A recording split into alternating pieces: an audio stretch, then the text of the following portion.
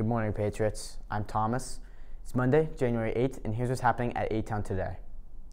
The Patriot robotics teams are excited to announce that A Town will be hosting a statewide robotics competition this Sunday, January 14th. This is an all day event that will see teams from all over Virginia coming here to compete.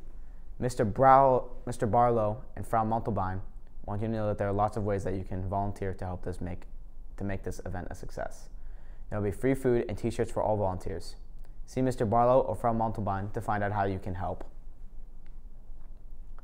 Last week, we announced that the art department is on a mission to create 1,000 paper cranes to celebrate the Chinese New Year and to create a message of hope and healing for the new year. As the end of our first week, we're making paper cranes. We only have total of eight. Only 992 more to go. If you're interested in helping, you can get paper from the library or Miss McKinley's in room 54, or you can sign up for Patriot Period with Miss McKinley too. This Friday or next Friday, Miss McKinley will help you. And in sports news, Friday night was very big for the boys and girls varsity basketball teams. They traveled to LC Bird High School for the holiday hoops games, and they both teams came back victorious. The girls beat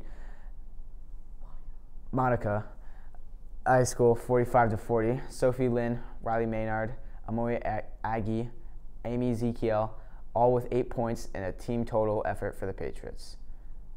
The boys defeated Petersburg High School with 60 to 40. Ben Wesson led the team on offense with 21 points. Mackay Raglan added 15 and 14 to the boards. Both teams return to the district to play this week. The girls will host Goochland tomorrow night. JV tips things off at 6, followed by varsity at 7.30. The boys will be on the road at Goochland, on, but on Friday night. But squads will play down here at home in a doubleheader against crosstown rival Monticello. That should be a good game. You've been waiting around here to watch wrestling here at home.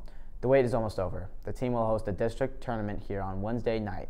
JV and varsity will get started at 6 p.m. We hope you'll come out and support the wrestling team in one of its few home matches of the year. That's all for now. We'll see you tomorrow on A Town Today.